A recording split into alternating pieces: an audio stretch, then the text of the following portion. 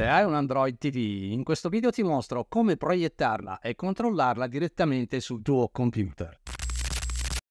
Allora, questo è il computer che andrò ad utilizzare per collegarmi a questa Android TV. Qui come vedete sto utilizzando il mouse invece che il telecomando anche perché è molto più comodo e la prima cosa da fare è abilitare le opzioni sviluppatore quindi andiamo qui su impostazioni e una volta qui andiamo qui su informazioni e qui troveremo la voce build troveremo qui in basso. Dopodiché facciamo clic ripetutamente per 7 volte fino ad abilitare la modalità sviluppatore. Fatto questo torniamo in impostazioni e qui troveremo la voce opzioni sviluppatore. Facciamo clic e qui come vedete ci sono tantissime opzioni da poter abilitare in questa sezione e noi dobbiamo cercare debug USB, andiamo ad abilitarlo e in alcune tv troverete la voce ADB debugging che è la stessa cosa, andate ad abilitarlo. Fatto questo torniamo in impostazioni e andiamo su reti wifi e facciamo clic sulla nostra connessione per vedere l'indirizzo IP che ci servirà poi per la configurazione sul computer per poterci collegare. I due dispositivi devono essere collegati alla stessa rete. A questo punto andiamo sul nostro computer per completare la configurazione. Una volta sul computer colleghiamoci sul sito di GitHub e andiamo a scaricare questo strumento che troverete il link sotto in descrizione. E andiamo a scaricarlo da qui, questa qui la terza, andiamo a scaricare questa versione. E una volta scaricata andiamo a scompattarla, troveremo la cartella qui, andiamo ad aprirla dove troveremo tutta questa serie di file.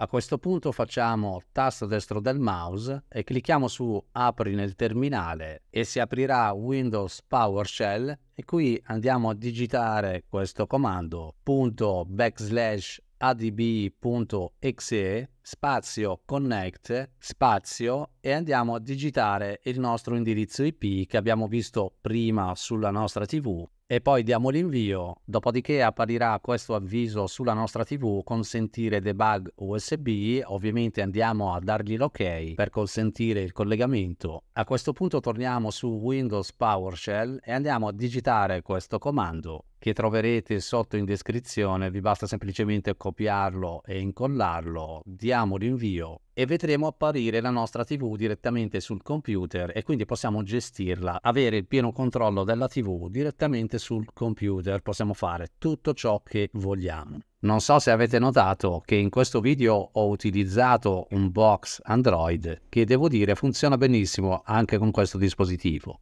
Lascia un bel like e iscriviti per altri trucchi come questo.